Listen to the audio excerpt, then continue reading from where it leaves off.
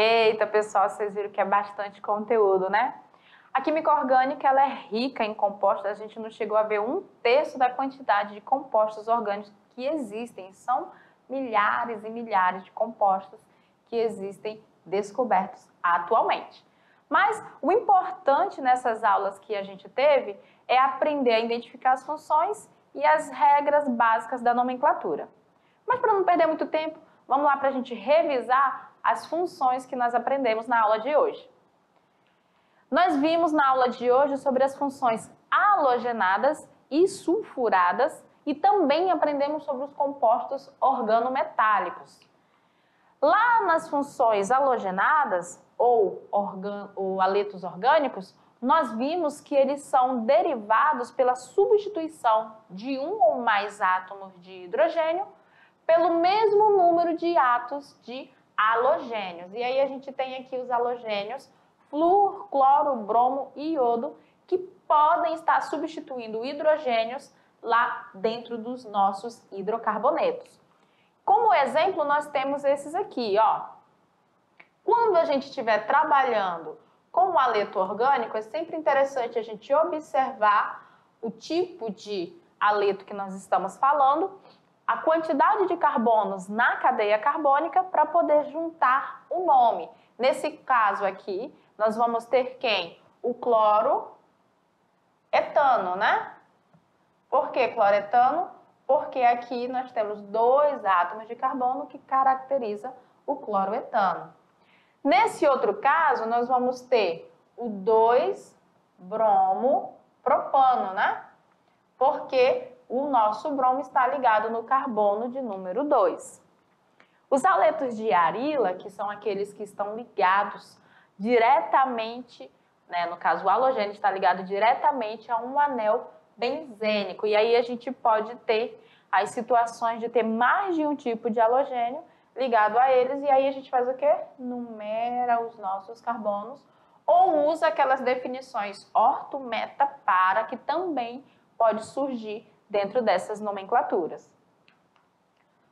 Nós falamos também sobre os ácidos sulfônicos, e aonde nós vamos estar identificando pelo grupo SO3H.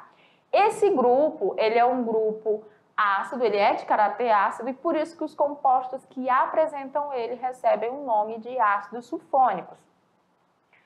Quando for dar o nome de um ácido sulfônico, você sempre vai utilizar a palavra ácido em primeiro ponto, depois o nome do hidrocarboneto normalmente, seguido da terminação sulfônico. Dentro deles, nós vimos que tem a presença também dos tios compostos, né? E aí a gente viu tiol, tio éter, temos os tiocetonas é, e também os tiofenóis. Então, fique atento na presença do enxofre dentro dos nossos compostos orgânicos. Outro grupo que nós conhecemos foram os compostos organometálicos, que é quando a gente tem metal ligado diretamente a um carbono na estrutura orgânica. E aí a nomenclatura é simples. A gente dá um nome do grupo orgânico, do grupo, ó. Nome do hidrocarboneto, hidrocarboneto eu tô falando de quem? Metano, etano, propano. Nome do grupo orgânico. Grupo orgânico eu estou me referindo a quem? Metil, etil, propil. Essa é a diferença, tá? Então, vai ficar metil é, chumbo, etil, é, deixa eu ver, sódio e outros metais que podem aparecer. Então, grupo orgânico, eu estou falando de radicais. Hidrocarboneto, eu estou falando dos nossos hidrocarbonetos metanos, etanos, propanos, butanos, são diferentes. E a gente fechou a aula falando sobre reagentes de Grignard, onde nós vimos que é quando nós temos um grupo orgânico ligado ao magnésio e o magnésio, por sua vez, ligado a um halogênio.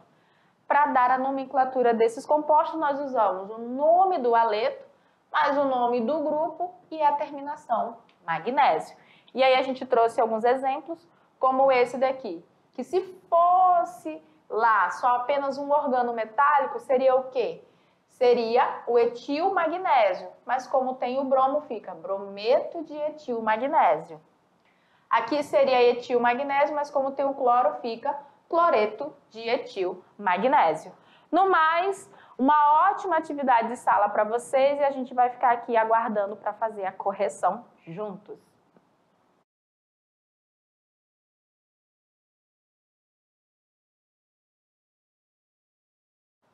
Eu gostei particularmente da atividade da aula de hoje. Vocês viram que teve algumas situações que você foi obrigado a trabalhar nomenclatura. A gente teve aula em que a atividade era voltada basicamente para identificar as funções, que é para treinar se você já sabe diferenciar um grupo funcional do outro. Mas na aula de hoje a gente aproveitou para finalizar essa unidade com algumas aulas de nomenclatura para testar e para você praticar também. Então, vamos lá para o nosso tirando dúvida da atividade da aula de hoje. Na questão número 1, um, fala o seguinte: a nomenclatura oficial para designar o anestésico comumente chamado de alotano é 2-bromo, 2-cloro, 1,1,1 trifluoretano. Aí ele pede para você. A fórmula molecular dessa substância é, portanto, e aí ele dá cinco alternativas para você marcar qual seria a correta. Eu estou falando de quê? De um aleto orgânico.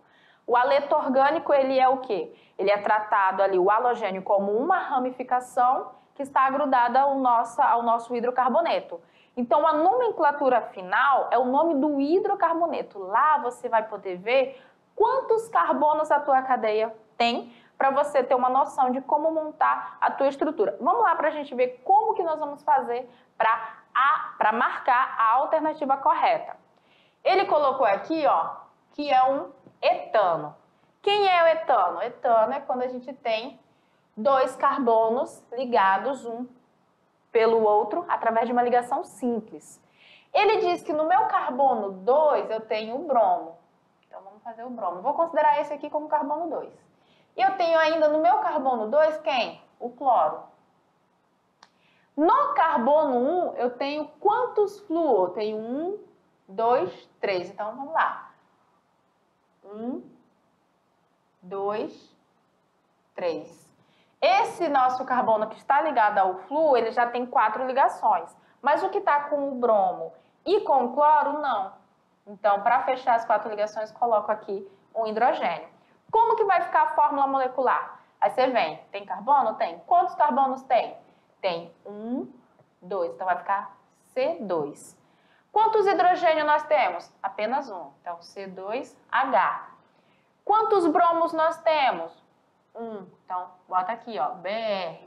Cloro também só tem um, então Cl. Quantos flúor nós vamos ter? Três. Essa é a nossa fórmula molecular, C2HBrClF3. Quais destas alternativas apresentam essa fórmula? Na letra A, ele traz já 5 hidrogênios, então já está fora. Letra B, 3 hidrogênios. Letra C, também 3 hidrogênios. Na letra D, um hidrogênio, ó, e a gente só tem um mesmo. Na letra E, ele não traz o hidrogênio para a gente, então ela ó, tá fora. Qual é a nossa alternativa correta? a alternativa D. Então, se a gente for observar, eu posso representar a estrutura do meu composto assim, aonde no carbono 2 eu vou ter cloro e bromo, no carbono 1, 3 flúor, ou a gente pode representar como a gente fez, ó, carbono 1 com 3 flúor, carbono 2 com o bromo e o cloro. Apenas um hidrogênio sobra para poder fazer a ligação. Então, a fórmula molecular de fato é C2HBrClF3, alternativa B. Questão de número 2. Caramba, olha que composto bonito. Aí você pensa, poxa, professora, faço a menor ideia do que está na minha frente. Bom, é um ácido sulfônico. Por quê? Porque essa representação aqui também pode ser expressa dessa forma. Olha só. Eu não tenho um enxofre? Tá aqui, ó, enxofre. Quantos oxigênios nós temos? Um, dois, três. Tá aqui, ó, três. E um hidrogênio. Então, eu posso representar destas duas maneiras o meu grupo do ácido sulfônico. Então, nós sabemos que é um ácido sulfônico, mas qual vai ser o nome para essa cadeia? Então, vamos lá. O nosso carbono 1 vai ser o carbono onde o grupo funcional está ligado. Então, vai ser esse aqui, ó. 1, 2, 3, 4, 5. Como é que nós vamos fazer? Nós vamos colocar, primeiro, o nome. Vai começar com a palavra ácido, sempre com a palavra ácido. E aí eu vou começar pelas ramificações. Eu tenho uma ramificação metil. E ela está onde? No carbono 4. Então vai ficar 4 metil. E aí o nome da minha cadeia principal com a terminação sulfônico no final. Nesse caso, tem quantos carbonos? Tem seis, ó, esquecendo do último aqui. São seis. Então, vai ficar hexano sulfônico. Hexano sulfônico. Bora ver qual a alternativa que apresenta essa nomenclatura? Vamos lá. Na letra A, está fora porque ele diz que a nossa ramificação está no carbono 2. Na letra B, a ramificação está no lugar certo, carbono 4. Só que tem uma numeração aqui dizendo que o meu grupo sulfônico está no carbono 2. E não é, ele está no carbono 1, então letra B também está fora. Letra D e a letra C, perdão, e a letra E fala que a ramificação estão no carbono 3 e 5 e a gente viu que é no carbono 4. Então, a nossa alternativa correta é a letra D. O nome para o nosso composto é ácido 4-metil hexano sulfônico. Nomenclatura dos ácidos sulfônicos sempre vai ser feita dessa forma. Se você tem lá o ácido sulfônico ligado em qualquer carbono no meio da tua cadeia, aí você vai numerar dar o nome da cadeia principal, colocar o número do carbono aonde o nosso grupo funcional está ligado e a terminação sulfônico, que nem a gente viu na letra B. Não é o caso do nosso composto. Por quê? Porque nesse exemplo e nessa atividade, o nosso grupo funcional está na extremidade da cadeia. Se ele está na extremidade da cadeia, a numeração começa por ele. Como ele é o carbono 1, eu não preciso, nesse caso, numerar. Basta colocar lá hexano sulfônico que tá tudo certo. Tranquilo? Então vamos para o nosso Se Liga no Enem, questão número 3. Olha, só na questão número 3 fala o seguinte: o cheiro defensivo da jaritacaca, que é o gambá, é em razão de uma mistura de substâncias, entre as quais estão incluídas as seguintes: Aí nós temos a substância aqui em cima, ó, que é uma delas, e aqui embaixo. São duas substâncias diferentes. O que, que nós temos aqui, pessoal? Qual é o grupo funcional que você consegue identificar dentro do, das duas estruturas? Tio compostos, olha só o enxofre aqui. Nós temos aí tiol, temos dois tióis. O que, que o problema quer? O problema é que é que você diga qual destas afirmativas traz a nomenclatura correta desses compostos sulfurados, né? Respectivamente, o composto 1 e o composto 2. O que, que você vai ter que fazer? Vamos aqui. Nós vamos observar aonde está o nosso grupo funcional. Calmamente, sem pressa, gente. E aí nós vamos numerar a nossa cadeia e aí dar a nomenclatura correta. Então vamos começar aqui pelo primeiro composto. O grupo funcional está aqui, ó. Então a minha numeração nesse caso vai começar por esse carbono. Carbono 1, 2, 3, 4. Beleza. O que, que eu vou fazer agora? Se eu tenho ramificação, eu vou dar primeiro a posição da ramificação e o nome dela. Nesse caso aqui vai ser 3-metil. Concordam comigo? Ó, carbono 3, ramificação metil. 3-metil. Tem mais alguma outra ramificação? Ramificação de fato, não. Então, eu vou dar o um nome do meu composto, da minha cadeia principal, colocando a terminação tiol. Então, vai ficar 3-metil butano tiol. Preciso numerar aonde o tiol está? Não, porque ele é o carbono 1, não obrigatoriamente. Se quiser, pode colocar entre o butano e o tiol o número 1. Mas esse aqui já está correto. Agora vamos para a estrutura de baixo. Na estrutura abaixo nós temos quem? Nós temos novamente um tiol. O que, que nós vamos fazer? Numerar. Um, dois, três, quatro.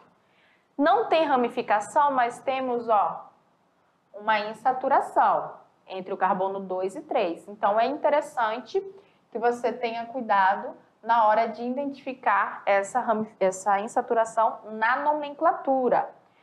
Você pode encontrar de duas maneiras. Vai, pode ficar assim, ó. É, no caso, but, né? 2 eno tiol, pode aparecer dessa forma.